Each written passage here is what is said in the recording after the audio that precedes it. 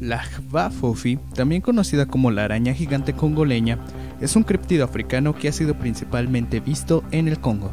Presumiblemente, se trata de una especie desconocida y muy escasa de arácnido, y su fama ha crecido enormemente en los últimos años.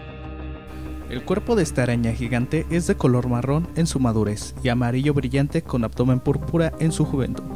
Su morfología es similar a la de las tarántulas, pero puede alcanzar el inaudito tamaño de 6 metros de extensión entre una pata y la otra. Muchos relatos refieren que estas arañas son capaces de cavar túneles bajo las raíces de grandes árboles, así como también de fabricar grandes camas de hojarasca a fin de camuflajearse.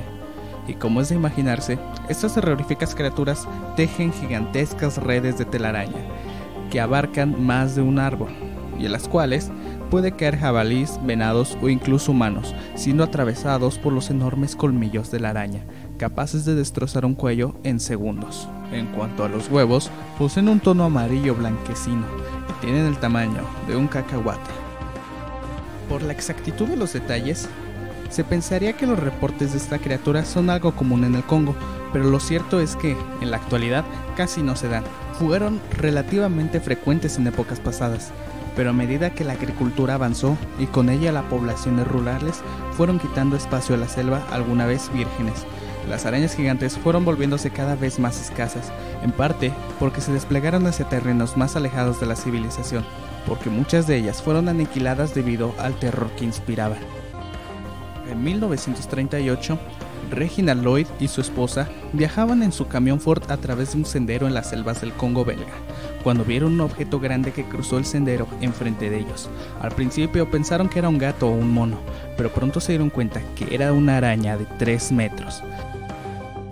El relato anterior impresionó enormemente a los esposos, al punto que su hija contactó en 1990 con el criptozoólogo William Gibbons para narrarle lo que sus padres vieron en las selvas del Congo.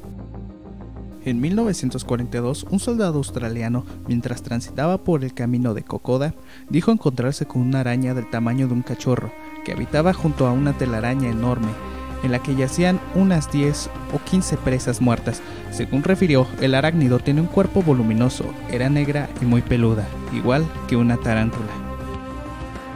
En 2011, el cineasta británico Richard Terry viajó al Amazonas para investigar sobre varios informes que referían la presencia de arañas gigantes. Así, en sus interacciones con los indios, dentro de cierta aldea se le contó que las arañas gigantes medían aproximadamente un metro de diámetro y eran muy difíciles de ver porque vivían en profundos agujeros subterráneos. Esas y otras indagaciones fueron plasmadas por Terry en el episodio número 13 de Man Be Monster.